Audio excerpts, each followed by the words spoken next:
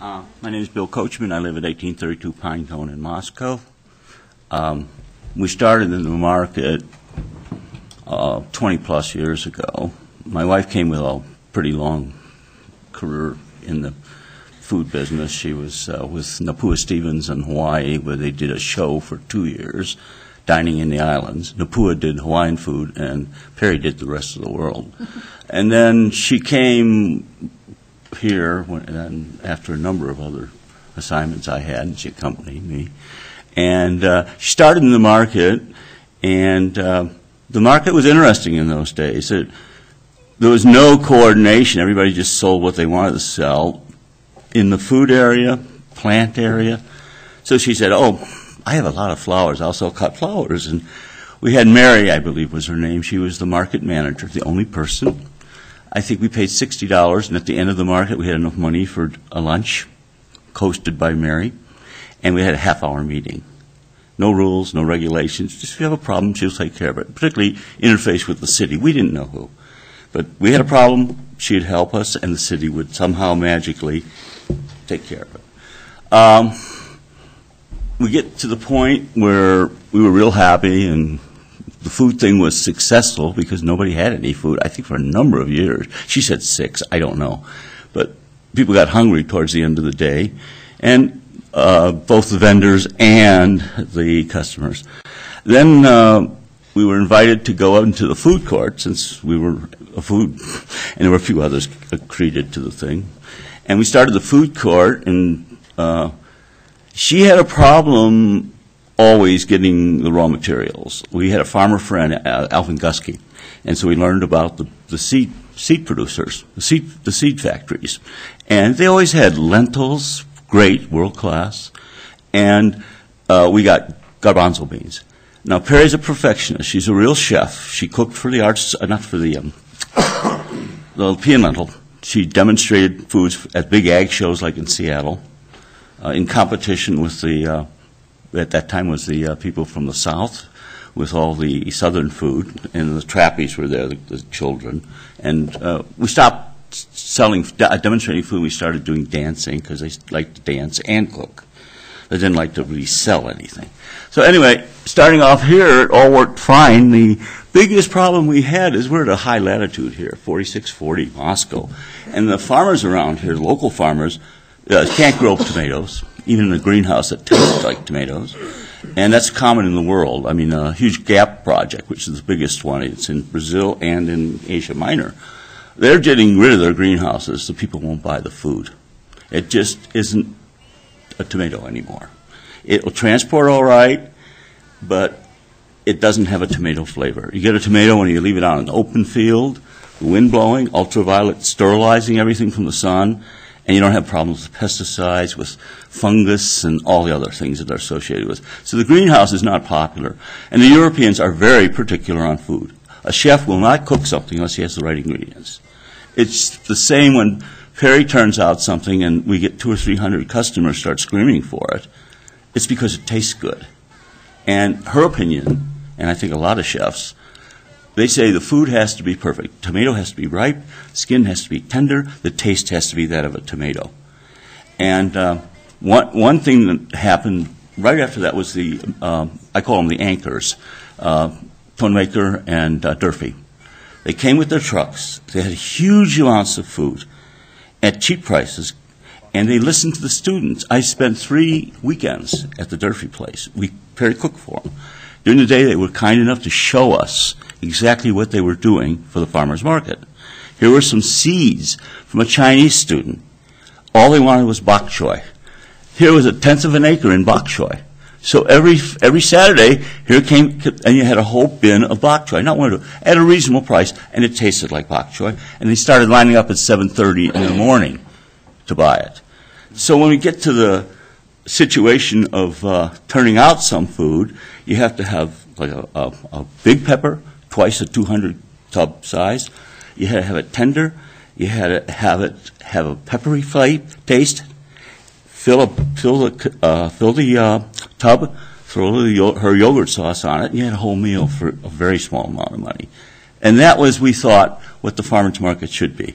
It should allow farmers to bring whatever food they had to the market, offer it to the public at a reasonable price, and then have both sides benefit. The public from buying the food, enjoying it, the farmers from getting rid of either the surplus food or food they needed a market for. And I think that's correct as far as the, the raison d'etre for the farmers market. And uh, we're leaving the farmers market for various reasons, and not any of the things that have been discussed tonight. But one thing I think I can offer to you as a suggestion. I've been all over the world many, many times, looked at markets. I wrote to work with one of the members of the Mainzer Marktplatz, started over 2,400 years ago, still in a little square in the center with a big cathedral, still with about the same number of vendors. Some change, but not, you know, every 100 years is a different vendor. Um, and he, we talked about markets and, you know, how to organize them, ones that work best, and all the whys about what they have done and how the results came out. I wrote a paper about four years ago, unbeknownst to me of any change in market location. And the title of the paper was The Linear versus the Square Market Format, and all the reasons why you want one or the other. And all these things have happened here for that paper. I'm not just saying because I wrote it. I inherited a lot of the ideas from my carpooling partner. But what I see as a problem here versus the rest of the markets in the world that I've seen, and there's quite a few, because I do have an interest in markets. And the, our expert might, well, I wish I would talk to him. He might, we've had a lot of similar thoughts, I'm sure. Uh, the thing is that, like, classic markets are square. That's why they talk about the market square. Classic markets are divided by groups of things. You don't have one vegetable, big vegetable vendor, or one that's anchoring, at one end, and the other at the other end of a linear market. People are going to go to one and not the other because of the distances involved. And it's hard on people that are older and people that don't have time. So I think a very good idea is to cluster the markets, put all the crafts in one place, put all the food producers in another place, maybe the organics in another place, and have them logically located, topologically, so that people don't have to walk. The old market was easy. You just, oh, I forgot something over at Tonemakers and I was over at Durfee. You hop over there in three seconds.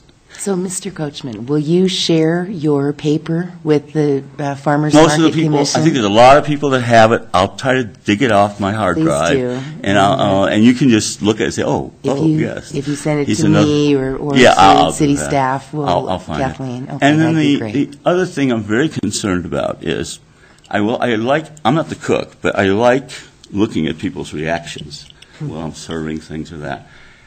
And there's nothing like, even though it's a prohibited product, a family getting a, a flat of blueberries. And all talking about putting it on their cereal. And all talking about it not costing $3 for a little tiny container. And there's, there's, there's so many little, little things that the market produces in the customer base. And they're very important. The clustering is good. The, I don't see how we're ever going to do without the major food providers like Durfee and, and regardless if one, one lives a further distance than 150 Okay, miles. so you're advocating for a Oh, policy gosh, that yes. allows Our outside market the- the surged. immediate region? Okay. It surged the moment we got those two guys on the food court. They were on one side, the food vendors were on the- the north side, and then the whole thing took off, uh, sales-wise. And uh, we needed them. We needed uh, peppers that you could hit with a hammer and they would fall apart, splatter, rather than ones that you get at the stores, which are half the size, you hit, and they bounce away. And the hammer, you look to see if it's not broken or not. And so the quality is, and the, the price and all the things go. And people come, old people, seniors, uh, young people, people that don't have today very much money. And they used to buy a, a crate of uh, whatever they sold. Now, um, Trying to make, uh, I'll finish with this. All of my, uh, certainly, uh, uh, the, um, one of the vendors is just a shadow of itself, just a van, and runs out of corn at nine o'clock in the morning. And our market closes much later than that, Durfee. And Tony Maker hasn't the variety anymore. He used to have 20 of the 27 peppers available in this country. 20. And you go to the store, and as far as bell peppers, there's three. There's orange, there's uh, uh, red, and there's green. They all look alike. They all taste alike.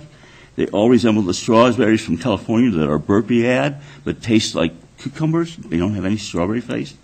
And uh, he's providing 20 real peppers that have, are, I'm sure, not uh, just grown just as peppers were from what we call now heirloom seeds. And the priceless for her preparing food. And other people like to use them. Without those, and I think they're over the 1,500 mile limit, you're not going to have a market as far as in the food pr- produce area that is really worthwhile because it doesn't.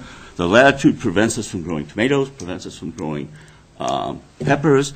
Uh, my wife loves to make dishes out of uh, eggplant. We have no eggplant. Never Well, had. Mr. Kochman, I, I was sorry to hear that you and Perry are considering leaving the Yes. market, but I hope that your voice of experience will be very valuable. I hope you will share that with the, Yeah, and I will send the you uh, the Farmers copy Market of the- Commission as well. I hope because- so. Please do, Because please. that's I, I- we enjoyed the market. We had a fun run of 21 years. Right. and we'd like to leave a little bit. People have asked for our recipes.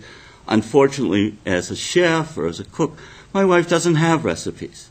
She's continually changing everything incrementally.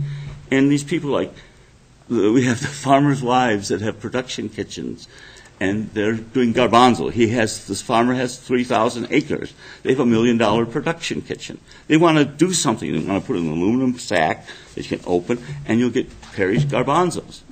Now that she's thinking of doing, but you know Well, that's you- please another keep us- goodwill thing. Plus, you might make a few pennies doing it. Yeah, but you'll uh, please keep us posted and, We and will. wish Perry the We best will. too. Thank, Thank you you for so your much. comments tonight. We appreciate it, Mr. thank Kochman. you.